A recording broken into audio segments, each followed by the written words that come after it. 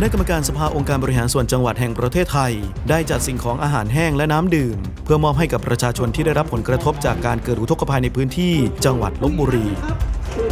นายจำลองขำสาเลขาธิการสมาคมองค์การบริหารส่วนจังหวัดแห่งประเทศไทยนำคณะกรรมการสมาคมลงพื้นที่จังหวัดลบบุรี เพื่อให้การช่วยเหลือประชาชนที่ประสบอุทกภัยณศูนย์ช่วยเหลือผู้ประสบอุทกภัยตำบลพุคาอำเภอบ้านหมี่จังหวัดลบบุรี โดยมีนางอรพินเจรพันธ์วานิชนายกองค์การบริหารส่วนจังหวัดลบบุรีนำคณะให้การต้อนรับ และชี้แจงถึงความเดือดร้อนของประชาชน และชี้แจงถึงความเดือดร้อนของประชาชน สถานการณ์น้ำท่วมในพื้นที่ดังกล่าว และชี้แจงถึงความเดือดร้อนของประชาชน ในสถานการณ์น้ำท่วมในพื้นที่ดังกล่าวขณะที่ทางเลขาธิการสมาคมองค์การบริหารส่วนจังหวัดแห่งประเทศไทย ได้นำความห่วงใยของทางสมาคม มาแจ้งให้กับพี่น้องประชาชนได้รับทราบ จากนั้นได้มอบสิ่งของที่เป็นสิ่งของอาหารแห้งและน้ำดื่ม ให้กับประชาชนที่ได้รับผลกระทบจากการเกิดอุทกภัยในปีนี้ ซึ่งสร้างความยินดีให้กับประชาชนที่ได้รับความเดือดร้อนเป็นอย่างมาก ที่จะต้องอยู่กับน้ำไปอีกประมาณสิ้นเดือนนี้ โดยผู้ที่เดินทางมารับสิ่งของในครั้งนี้ ต้องเดินทางมารับด้วยการใช้เรือพาย และนั่งรถไถมารับ เนื่องจากระดับน้ำที่ท่วมขังนั้น